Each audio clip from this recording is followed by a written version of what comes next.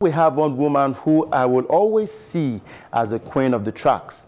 She has won a number of national championships, including a gold medal in 1996 in the 400 meters, gold medal in 200 meters and 400 meter in 1998, and gold medal again in 1999 and 2001 in the 400 meter. And at the 1987 All-Africa Games in Nairobi, Kenya, she won the silver medal in the 200 meter. In 1995 at the All-Africa Games in Harare, she won the silver in the 400 meter, and at the 1999 Games in Johannesburg, she won a gold medal in the 400 meter. At the 1996 Summer Olympics, she won a bronze medal in the 400 meter in a personal best, an African record of 49.1 seconds, which is the current 12th fastest of all time. Now we've got Chief Falilat Ogunkoya Omotayo, MON, a Nigerian former track and field athlete. She's an Olympian and one of Nigeria's most decorated track and field queen. Good to have you with us, ma. Good morning. Now, we regard you as a legend on the tracks, and of course, uh, you always be a legend. Was it easy for you to switch? Uh, because I found a little bit that you, you were interested in table tennis. Was it easy for you to switch from tennis to going to the tracks? And I did. I think uh, for me it was easy, but for the two coaches, for the table tennis coach, it was not easy for him because mm. he had to pick a track and field. Nice. You know, before coming on air, I, I, watched the 1996 Olympic women's 4x400 meter relay. It was a nostalgic moment, and uh, we finished with a silver medal. You gave it a fight, but it seemed like you were in a bit of pain. I, I stand to be corrected. We would like to know what exactly happened. Yeah, but because uh, I, I know, no, no, 400 meters is not an easy race. But if you look at the race, our turn leg was a little bit not fast as you know, it's supposed to be. So the, the, the, gap alone for me to be able to catch up, you know, and I didn't know that even the I was, you know, was charging too. So the silver, you know, we, we thank God for us, you know, getting the silver. Mm. Now, rumor has it that in that uh, particular event that you were pregnant when we won a medal. Would you want to clear the air? No, I was not there because I had my son. Uh, I had my son almost 15 years. I was not. I was not. Oh, nice. Now, your parents, how supportive were they when you told them that you wanted to be an athlete? Uh, my mom was worried because I was born as a premature, but my dad finally talked to my mom. Uh, my mom was uh, like, okay, that was, but my dad told her that maybe this is the part God has chosen for her. And then the only thing to do was for her to, just pray for me. So that's exactly what she did. And you know, the rest of. Now, you are the first Nigerian multi Olympic medalist. How does this make you feel? Uh, it's always a good feeling, you know. So going to Atlanta, you know, my goal was to, you know, to win the gold, silver, bronze, I, I wanted to be on that medal table, you know. Mm. So, but for me to be the first, even in that competition, I was the first one that won the medal. That is when everybody started believing that, uh, oh, so it's possible. So, and then to come home with another another silver make me cool. So, you know, whatever in life, you just have to be very grateful because I was injury free, I was in shape. Some people want to go to that the same competition because of injury. They couldn't make it, but I made it. So I was very, very good. Mm. Looking at the athletes we have today, do you think we have what it takes to challenge for uh, top medals at major championships? We do. Nigeria have so much talent. We Yeah, I think if we just manage our our athletes very well, because this is what we have to manage ourselves even our coaches have to manage us because no athlete wants to wants to train hard because the training tough. So we just have to manage it. Nigeria manage athletes very well. If you have been going to Olympics for a long time, you know, when Peter won the won his medal and then the by one sport, this is the men's relay you know, that means that as a talent in this country, it's just the way we are managing it. If we manage it very, very well, I think that uh, we can win more medals. Because if you look at 96, 97, 98, Nigeria have about 400 runners in a in the golden. This is now down the lane. We have four people that we have been racing together in eight lane tracks to give Nigeria four athletes. So uh, myself, Fatima, Charity, and DC, they are there right there, and three other ones that still running 50 seconds.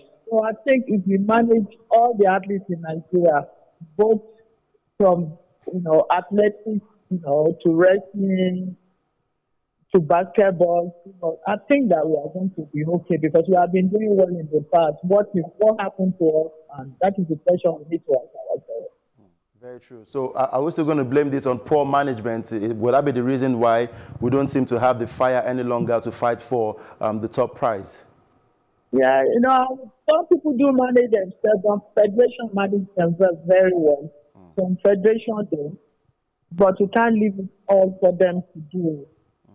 But uh, you know, the, the old one, the new one has to look at the old one that these people have done it. This is how they have been treated very well. And then when you talk to the upcoming one, you see their mind, you know, that oh, I want to be better if you can support all the clubs in Europe that they are not even giving you a damn out of whatever they are making because they are doing something very well.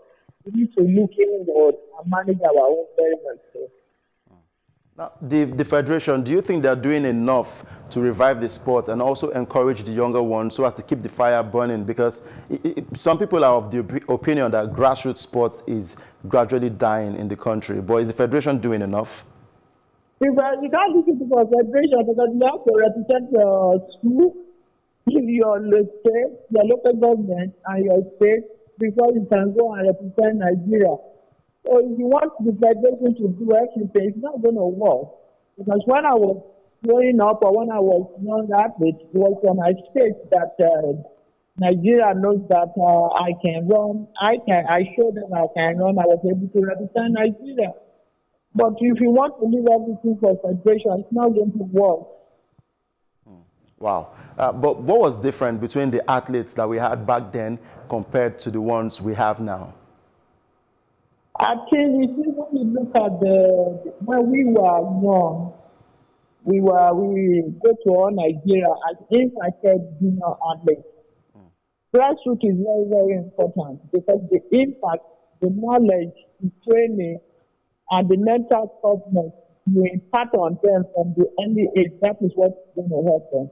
But if you look at people that they just going to come, maybe let me go and do this thing, I can be a lifter, hmm, maybe I can be a wrestler. Oh, maybe, and you're over 20, you are still celebrating that uh, you don't even know the sport you want to do, but, but because you decided that let me go and be a sport person. You have to be something from age of 8, age of 10, so, but before you reach 20, you are already a world champion and Olympic champion. Mm. That is why we are hammering for the grassroots. It's the, it's the right thing to do. Mm. You, sport unites all of us. That's one thing that unites us. And today we don't manage it very well, that you know we, we continue to complain about how why are we not doing very well. Of course, uh, sport is all about unity, and this is one thing that unites uh, both male and female. But staying with the female now, um, talking about ladies in sports, there has been more focus on male sports than the female. It, feels like male sports has been more domineering. What can we do to change the narrative? Uh, but if you look at Nigeria, female are one more murder than even the male. I agree. uh, but the, the, the reason why is that is, is, is because the way that we are promoting ourselves. When I was young, footballers, basketballers, volleyballers, all of us, we are all staying against feeling together.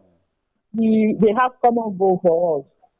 We, you know, we go to the same place to eat. We go to the same, you know, we stay in the same place. But now, this one is doing, you know, his or her own. So that is the, the main problem. Now you have to make everybody be one and then treat everybody equally. And we see more female athletes coming out to come and, you know, and they should not put all these full middle syndrome. Look at that. You look like a man. Uh, look at this one. This one, uh, this thing, you know, all those, uh, you know, language, it's not going to help. That, you know, it's not going to help. You just have to make everybody act one. And then you see more female athletes coming out, and then you need to celebrate the one that have done very well. So you see that at the end of the day, it's the one one. Uh, we'd like to thank you very much. But as you go, uh, what's your advice to that young athlete out there who looks up uh, to you and wants to be like you and also achieve greatness? Uh, what I'm telling them is that uh, it's, not, it's not going to be easy. They are not going to give it to you. Sport is not like an exam you are doing it inside your classroom, everybody is looking at you. It's something that uh, the whole world is going to look at you and they're going to ask you what happened when you don't do very well. As long you hold your head high, whatever that's going on around you, you don't let it affect you. And then you work very hard at it. The sky is the limit. Don't let anybody pull you down. Wow. Thank you very much for your time. You're welcome.